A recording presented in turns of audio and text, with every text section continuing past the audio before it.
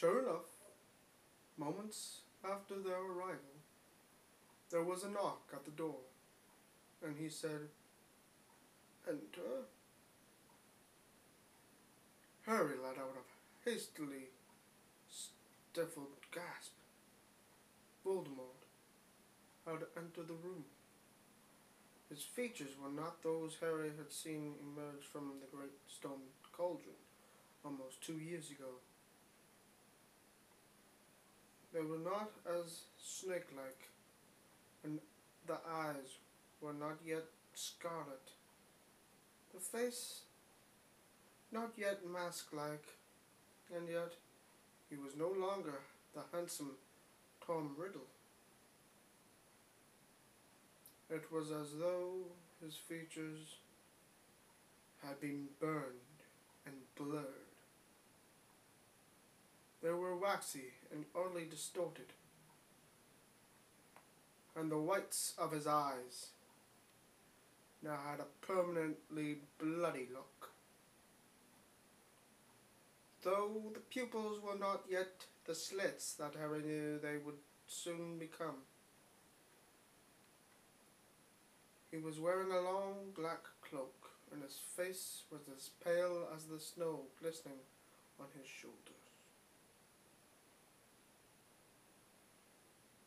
Good evening, Tom, said Dumbledore easily. Won't you sit down? Thank you, said Voldemort, and he took the seat to which Dumbledore had gestured. The very seat, by the looks of it, that Harry had just vacated in the present. I heard that you had become headmaster, he said, and his voice was slightly higher and colder than it had been. Oh, a worthy choice. I am glad you approve, said Dumbledore, smiling. May I offer you a drink? That would be welcomed, said Dumbledore. I have come a long way. Dumbledore stood and swept over to the cabinet where he now kept the Pensieve, but which then was full of bottles.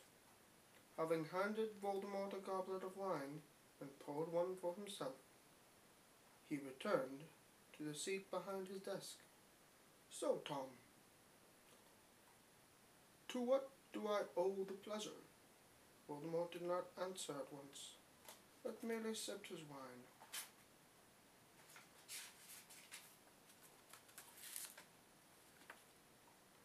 They do not call me Tom anymore, he said.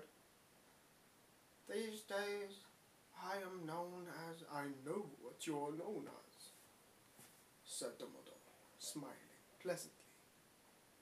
But to me, I'm afraid, you will always be Tom Riddle. It is one of the irritating things about old teachers, I'm afraid that they never quite forget their charge's youthful beginnings.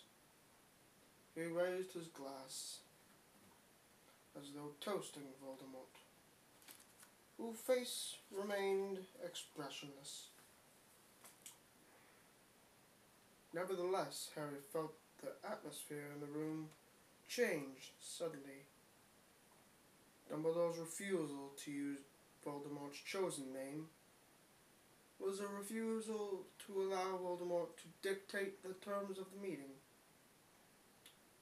Harry could tell that Voldemort took it as such. I am surprised you have remained here so long, said Voldemort after a short pause. I always wondered why a wizard such as yourself never wished to leave school. Well, said Dumbledore, still smiling. To a wizard such as myself, there could be nothing more important than passing on ancient skills, helping hone young minds. If I remember correctly, you once saw the attraction of teaching too. I see it still, said Voldemort. I merely wondered why you, who is so often asked for advice by the minister, and who has twice, I think, been offered the post of minister. Three times, at the last count, I actually, said Dumbledore. But the ministry never attracted me as a career. Again, something we have in common, I think. Voldemort inclined his head, unsmiling, and took another sip of wine. Dumbledore did not break the silence that stretched between them now, but waited, with a look of pleasant expectancy for Voldemort to talk first. I have returned, he said.